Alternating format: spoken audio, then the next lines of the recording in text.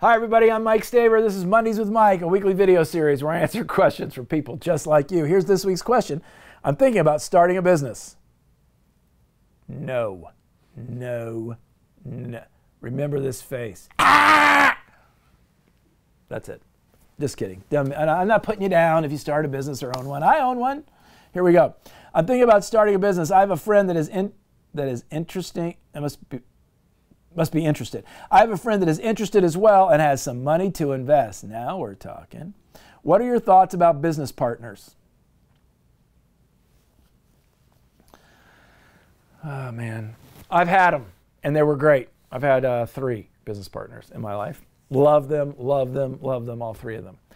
What I discovered about me, though, is I'm not a business partner person, and I'm sure they would say that's true. I'm just not that guy. And that's probably true uh, if you knew my favorite song. Anybody have a guess of my favorite song? Desperado by the Eagles uh, is my favorite song. Followed by Colder Weather by the Zac Brown Band, followed by Turn the Page by Seeger, by Bob Seeger. Um, yeah. So, and then the next one, Don't Touch My Truck, but I digress. So, um, I'm probably not the best person to ask this question. Um, here's what I'm going to share with you. And this is a thousand percent my opinion.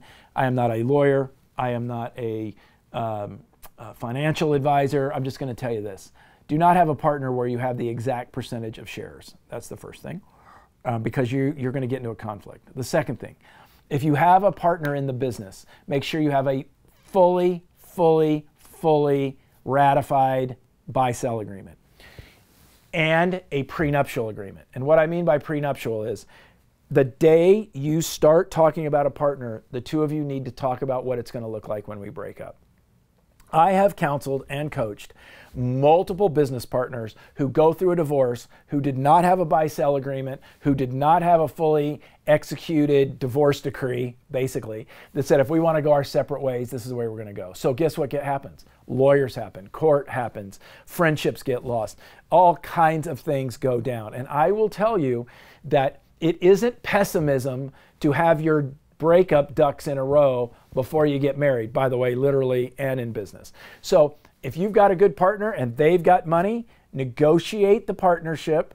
Do not become desperate and negotiate the buy sell and the divorce decree prior to the time you go in business. Here's why. You will find that you will you will feel much more comfortable and it needs to be a mutual executed buy sell, which means either party can can uh, can uh, call out the buy sell in the event that a divorce is necessary. I don't want to say that a divorce is going to happen, but the reality is a lot of business partnerships don't work.